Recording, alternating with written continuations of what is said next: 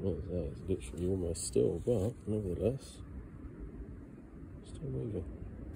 I waited for days to undertake this experiment when the weather was wind free and the water would be rather still, just to see what would happen to the active wave energy converter. As you can see, there's virtually no movement in the water.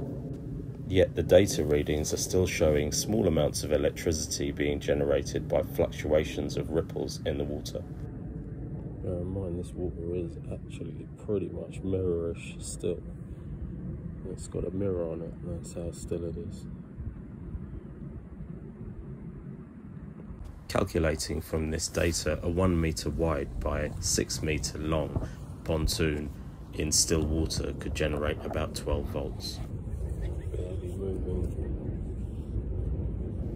In the background, you can see the mirror image of Rochester Castle in the water.